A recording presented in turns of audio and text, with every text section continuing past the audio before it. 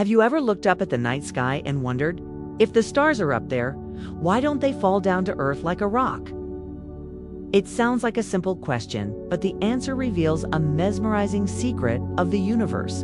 In reality, stars are incredibly far away from our planet so far that their light takes years, even thousands of years, to reach our eyes.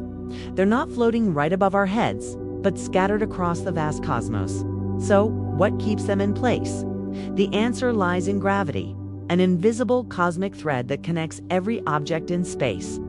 Instead of pulling the stars toward us, gravity between them and other celestial bodies creates a delicate balance. In fact, stars are constantly running around the center of their galaxies at astonishing speeds. Just like Earth orbits the Sun, stars are held in their paths thanks to the perfect combination of gravitational pull and their own momentum.